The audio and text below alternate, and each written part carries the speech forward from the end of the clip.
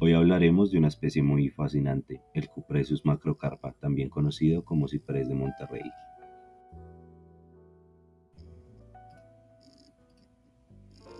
Efectivamente, es una especie nativa de la costa central de California y se caracteriza por su gran tamaño y apariencia majestuosa.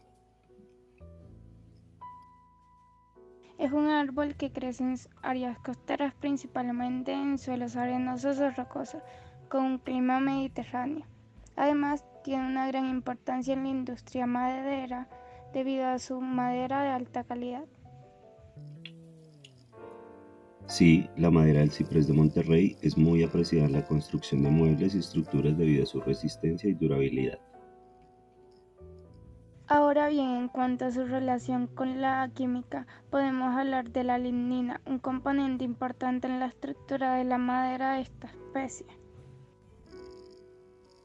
La lignina es un polímero complejo que se encuentra en la pared celular de las plantas y su función es proporcionar rigidez y resistencia a la estructura. En el caso del cipre de Monterrey, la lignina es especialmente importante debido a la calidad de su madera. Además, la lignina está compuesta principalmente de tres tipos de unidades monoméricas: pecomaril alcohol, coniferil alcohol y sinapil alcohol. Cada uno de estos monómeros tiene una estructura química diferente y una fusión específica en la construcción de la pared celular. La lignina también es importante en el proceso de la pulpa y el papel, donde se utiliza para separar las fibras de celulosa y proporcionar resistencia al papel. En resumen, el cipre de Monterrey es una especie de árbol muy valiosa tanto en la naturaleza como en la industria, y la lignina es un componente clave en la estructura de su madera.